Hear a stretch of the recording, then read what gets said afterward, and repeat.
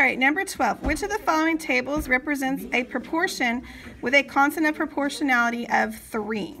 So my constant of proportionality is the same thing as my rate of change, all right?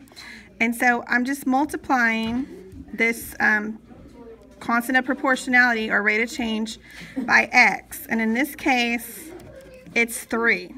Okay, so go ahead and make your own table. Make your own table of x and y.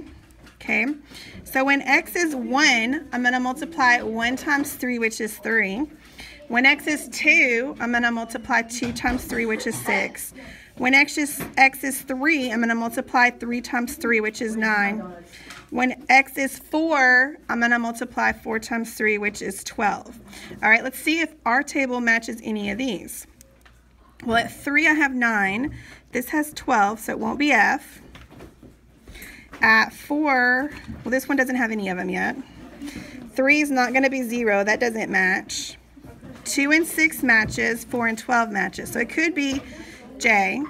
So we have 9 here. So if I had 9 times 3, that would be 27. Okay, 9 times 3 is 27, which is not 12. So it wouldn't be G. It's going to be J. Okay, put a box around answer choice J.